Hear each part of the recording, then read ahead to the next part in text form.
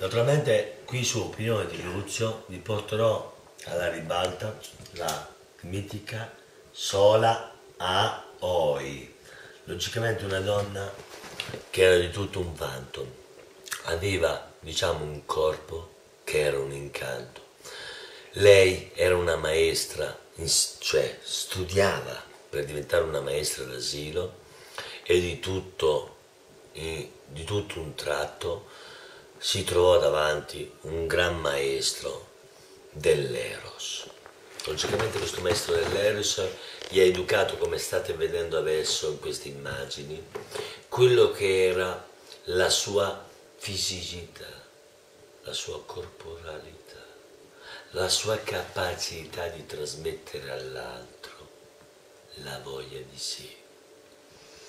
Lei capì in un istante che tutto ciò poteva dare gran fervore a se stessa, tutt'altro che quello che poteva consolarle i suoi gran libri, ma che in maniera molto mesta, comunque sia, ne dava una lezione agli altri. E questo sì, studiava, studiava, al tempo stesso come tutti, vedeva anche altro.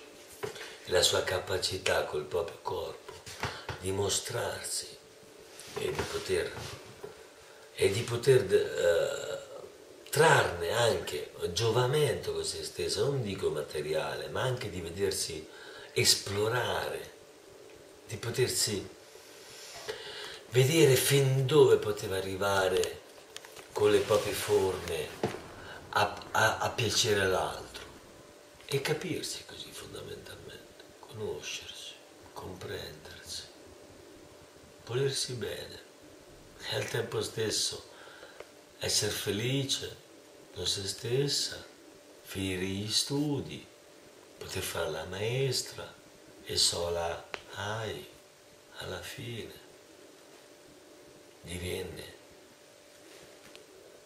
una persona che fu una regina di se stessa con tanto di cappella a oi tanto di cappello Aoi divenne anche lei un'artista che sfugge a schicchi, ma lei mondiale fu e divenne e ancora vive nei suoi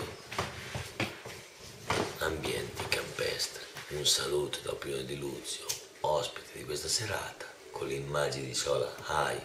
Noi vi lasciamo e vi lascio con piacevole Eros, naturalmente.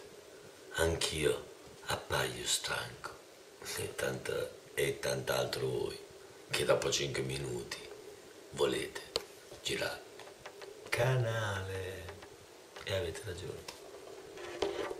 Dai, questo è meglio, dai. L'altro è un pippone con crepe.